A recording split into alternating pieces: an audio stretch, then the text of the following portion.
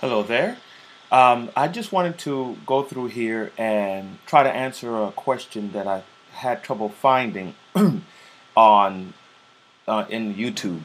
Um, it's how to delete more than one email um, on Gmail so that you can sort of um, so that you can sort of organize your email a little easier. Uh, now, there's still no delete all in Gmail, not the way I like it, because sometimes I don't want to delete everything. I kind of want to delete just uh, the emails that I that I'm kind of lazy about deleting as the day goes on.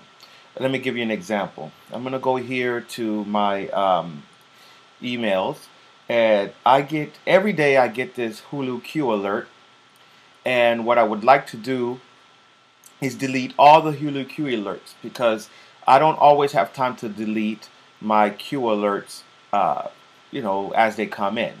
So the easiest way I know to do this is to go to your from and then hold over the other or hold over the email here until it says copy and then go right here to the search paste it and then it'll scroll down all of the Hulu Q alerts that you have.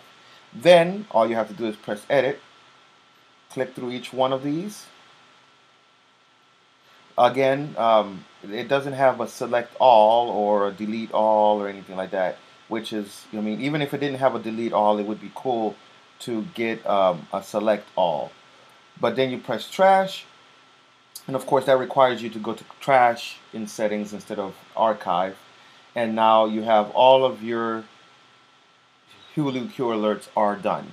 So let me try one more. Um, I also get these Magix uh, emails constantly. I don't want to delete them. I mean, I don't want to put them as junk mail because sometimes I do get to read them, but I can't read all of the archived ones because I have. If you're like me, you have such an, a large email um, that you just can't, you know, read every one of them. So once again, you're going to go to Magix here, the from. You're going to click and hold on the other or on their email. Click copy. Then you go to your search. Click paste. And it'll show up on uh, just the ones from Magix. You click edit and you just check each one of these.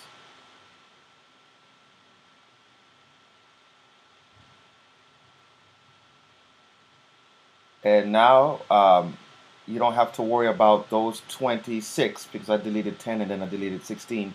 You don't have to worry about those as you go through your email. At least you can you can go through all of these a little easier. Okay, so that's a little tip. I'm hoping to give you a few more tips. If you uh, like and share this video, just let me know um, you also would like some more about some iPad tips. Thank you very much.